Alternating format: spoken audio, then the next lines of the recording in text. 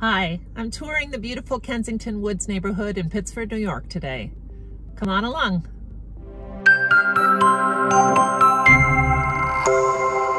Welcome back to my channel. I'm Betty Battaglia from Howard Hanna Real Estate in Pittsford, New York.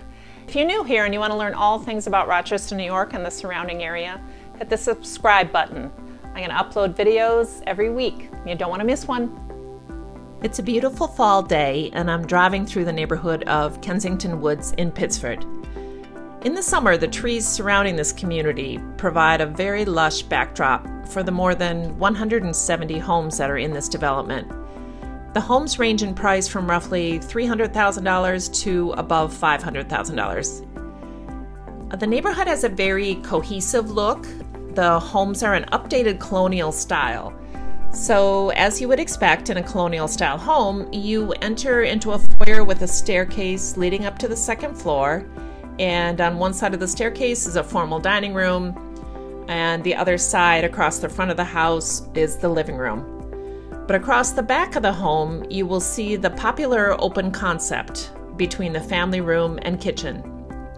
Large kitchen islands with bar stools that pull up to them for seating are very common here most of the homes also have an office on the first floor. The most typical floor plan in this neighborhood is one that has four bedrooms and two full baths with a powder room on the first floor and the owner suite on the second floor. Many of the homes, however, have an expanded first floor bath so that the office on the first floor can be used as a guest suite with a full bath.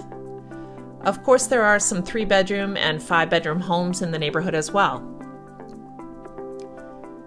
The neighborhood was built in two waves of construction.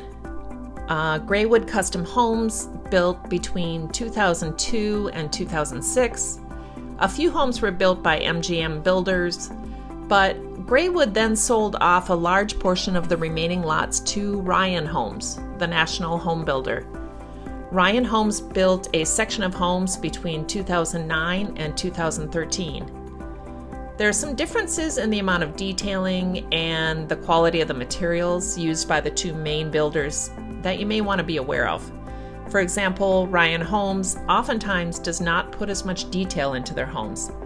So you may see things like the windows not being trimmed all the way around, they may use a thinner gauge for their vinyl siding or a lesser quality roofing material. And oftentimes you'll see this reflected in the price that the home sells for. Uh, there are always exceptions to this, of course, and your real estate agent should work to help you uncover the details. Kensington Woods is located off of Clover Street. Uh, Clover is a main artery that runs north and south through Pittsford so if you head north on Clover Street when you exit the Kensington Woods neighborhood, you have a convenient straight route to Monroe Avenue. And in less than 10 minutes, you can be near restaurants and retail stores and have access to all the main expressways uh, 590, 490, and 390. My favorite grocery store, Wegmans, is right there also. Uh, you're about five minutes from the village of Pittsford, about five minutes from all the local schools, and about 10 minutes from two very large shopping malls.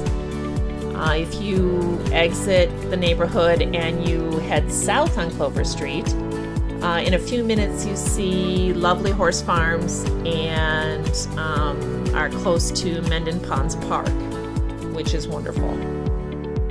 And speaking of parks, Kensington Woods is directly across the street from Isaac Gordon Nature Park, which is a 118 acre park with trails for hiking, cross country skiing, running, bird watching, whatever you enjoy out in nature. That is a wonderful feature of living in Pittsford. There are miles of walking trails uh, through the town parks and through the neighborhoods. Uh, they're all, many of them are all connected and they're maintained by the town. Uh, they check out the description below for links to lots of great information about Pittsford. Are there any cons to living in the Kensington Wood neighborhood, you may ask? Uh, the only thing that I can think of is a slight bit of white noise from Interstate 90, which is about a half a mile south of the neighborhood. Um, There are no exits on or off of the expressway there, uh, so you don't have to worry about a lot of traffic, but uh, you also don't have quick access if you'd like to use 90. Um, you have to enter elsewhere. But it also um, has never really been mentioned by any of the people that I've helped to purchase homes in the neighborhood, so I guess it isn't much to worry about. If you'd like to visit another Pittsford neighborhood, check out my tour of Charter Oaks.